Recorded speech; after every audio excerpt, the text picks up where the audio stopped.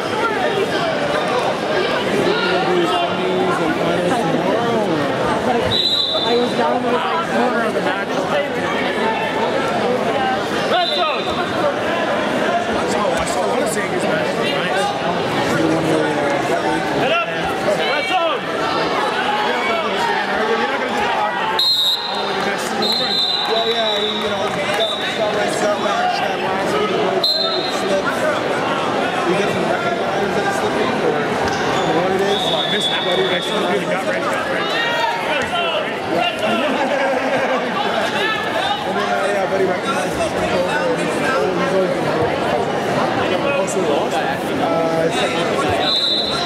not sure if talking about the same match because it's got